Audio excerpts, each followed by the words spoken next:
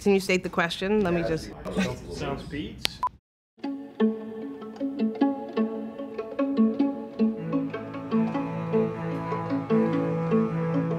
Everybody knows about what's happening in Flint, Michigan.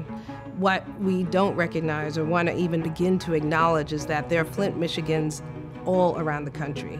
In many of our older industrial cities, you have people that haven't had clean water for a very, very long time. We have communities in the South Bronx, not so far from here, that have the highest rates of asthma in the country.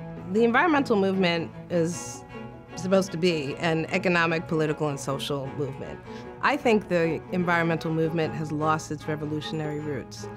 It began as a movement that really piggybacked off of the civil rights movement. The environmental movement really came to fore when there was no environmental protection in this country.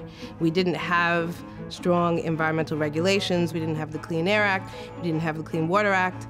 And once some of that legislation started to come to the fore, we started working much more in the boardrooms instead of the streets. The environmental justice movement is a grassroots led and based movement that deals with issues of racism. It's a movement of people of color and low income communities that have been facing these issues in a much more significant way. It's about making sure that these communities actually get some of the benefits to our environmental regulatory system and not all of the problems. The environmental justice movement is about where people live, work, and play. It's not chic. They're not making choices about whether or not they live next to a chemical industrial plant.